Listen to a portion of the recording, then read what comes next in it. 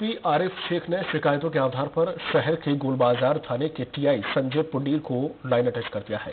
संजय पुंडीर के खिलाफ लगातार अनियमितता और अनुशासनहीनता की शिकायतें मिल रही थी, जिसके बाद उन्हें हटाया गया। इसके अलावा संजय पुंडीर के इलाके में सट्टा जैसे अवैध कारोबार ज़ोर शोर से चल रहे थे।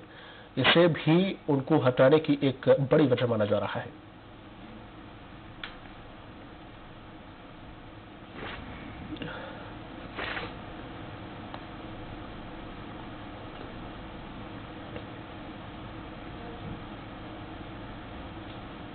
लगातार उनके द्वारा अनियमितता की शिकायत मिल रही थी। शिकायत पर से आ, उनको लाइन अटैच किया गया है।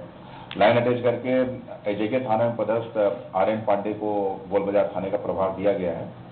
और जो भी उनके शिकायत थी पूर्व में उसकी जाँच पृथक से की जाएगी। वही